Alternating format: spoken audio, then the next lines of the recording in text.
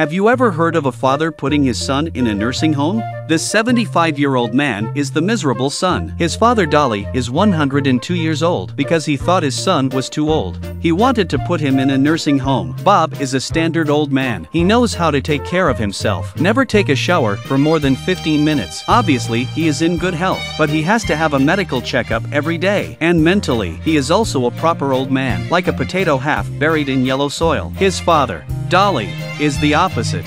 He's 102 years old, but he's a real old man. He plays soccer and plays in a band by day. He spends his nights watching the stars and listening to music. He also completed a solo tour around India. This father and son have lived together for 75 years. They've always disliked each other. One was too loud for the other. One was bored with the other. They even wanted to buy two refrigerators. One day Dolly came back with a portrait. He said he was the Guinness longevity record holder. He is 118 years old. He decided to challenge the world record to live for the remaining 16 years. He reads an interview. He said that in order to live a long life, he must stay away from old age, boredom and lack of optimism. However, his son Bob has all three of these things, so Dolly decided to send him to a nursing home.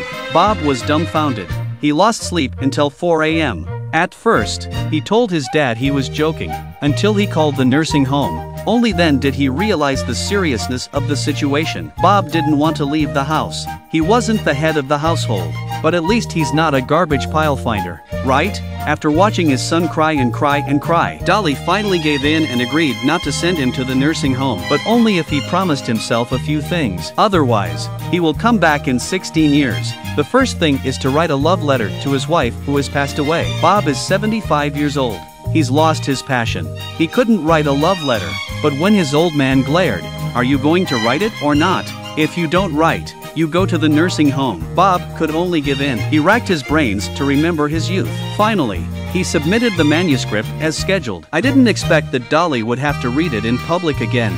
He had copied all the love words from the internet. The father is not satisfied. Suddenly Bob took away the love letter because he thought he might get beaten up for what he wrote in the back. But Dolly read it out loud anyway. Dear sweetie, I miss you so much. You know what?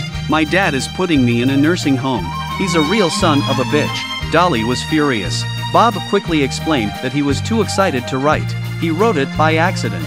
But Dolly's anger turned to happiness. What? I was excited about writing. After 15 years, you finally got excited for once, and you're finally learning to swear. That's a good thing. It means you're about to get your passion back. Second thing, Dolly had Bob pick up ducklings on a blanket. This blanket has been with him for 65 years. He must have lost sleep without it. Dolly said in a very serious way. This is the first sign of old age, the habit of finding refuge in old things. But Bob wouldn't agree. Dolly had no choice but to change the assignment. This old man is a bit miserable. He is 75 years old. He was almost sent to a nursing home by his father. The old man begged and pleaded, so he was not sent away, but his father demanded. He had to complete the task he set for himself. The second task, Bob needed to go to Mumbai for a day of sightseeing. But the route had to be decided by his father Dolly. The first attraction was the plane in the park. Bob stood in front of the plane and didn't move.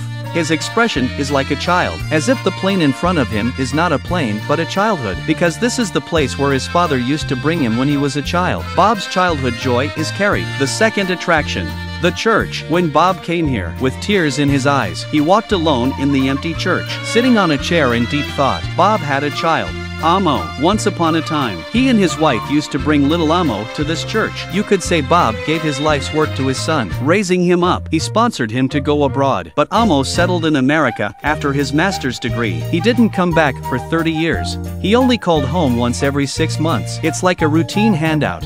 Dolly asked the old man not to come here. He wanted him to go back to the days when Amo was a kid, to pick up some good memories. And by this time Bob already knew where to go next. The third was a bakery.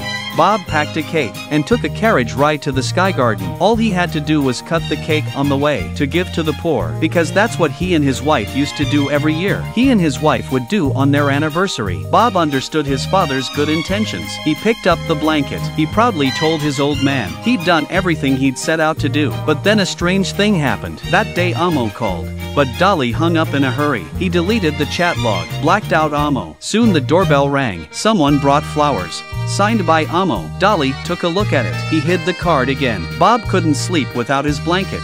His father dragged him into the living room. The two of them sang and danced to the music. Father also arranged for him to lie on the couch, listen to the music, and fall asleep. It turned out that his father wanted to tell him the most important thing in life is to be happy. What you want to do, you have to do it. But the next day Bob found Amo's flowers. He also knew that Amo had called twice, but his father had hung up on him. He asked his father why he did that. But Dolly said seriously that this is the last mission. To break off the relationship with your ungrateful son. He is not trying to celebrate your birthday. He's trying to make a family fortune. But Bob didn't care about that. His son was the most important thing to him. He loves him more than he loves himself. As long as his son was here, he was willing to break up with his father even if he did. Dolly turns on the player. A piece of music came on. His wife told him to turn it off. But Dolly not only didn't turn it off, he also said to his wife that the heartache of the past. This was Bob's wife's favorite music before she died. 25 years ago, his wife had Alzheimer's disease. The doctor said that in the last month of her life, she would gradually forget everything until she died. Wife forgot the music for three days. Ten days she forgot Dolly. Forget Bob for 18 days, 28 days to death. But the moment before she died, she was still talking about Amo. For the past 28 days, Dolly called every day hoping Amo would come back. But Amo kept saying he was busy with work. They fell into silence. Then Dolly picked up the phone and dialed Amo's number. The voice that came was a machine voice. But Dolly said, Grandson, if you can come back a week earlier, we'll discuss the inheritance. Amo immediately picked up the phone and promised to come back in seven days for sure. 75 year old man has a 102 year old father. If it were anyone else, they would have to take care of him, but now the two of them are fighting. Just now, Dolly exposed his grandson's ungrateful face, but Bob was furious. He knew that he was like a beggar in the face of his son's affection, but now he's about to get a handout. Why should Bob stand in the way? He told Dolly, I know you're worried about me being disappointed again, but you need to stay out of this, because I'm willing to do it, and to welcome his son, a foreigner. Bob had made all the preparations, all the usual medicines, countless mineral water. He bought all kinds of high-end imported snacks. He also made his son's childhood bedroom spotlessly clean. But that night, Bob found out that his father was still planning to get rid of Amo. He was furious. The next day he had to go to a notary and leave the entire estate to his son. If the father didn't agree, then we'll see him in court. But Dolly said it would take years to transfer the property. I can't wait until then. Dolly gave his son a document. It was his own medical report. He has a brain tumor. The doctor said he might not live long.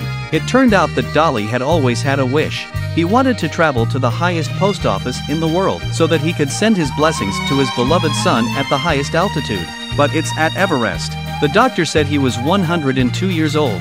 He had to have a full medical checkup. That's how he found the brain tumor. For the 102 year old little man, death wasn't scary, but the only thing he couldn't worry about was Bob. His son's health was not good. If he died himself, Bob will become lonely and lonely. That's why he planned everything before. That's when Amo's plane arrives. Bob went to meet it. He brought an old photo album. Inside was the church. There were heartwarming images of Bob teaching his son math but Amo felt ashamed. He said he'd go back and catch up on the old version, but Bob insisted on not leaving. We'll talk about it right here. Bob pointed to this photo and said with pain, This is your mother's ashes. But she didn't wait for her son in the end. Your grandfather said people like you don't deserve an inheritance, but I think you should get what you deserve.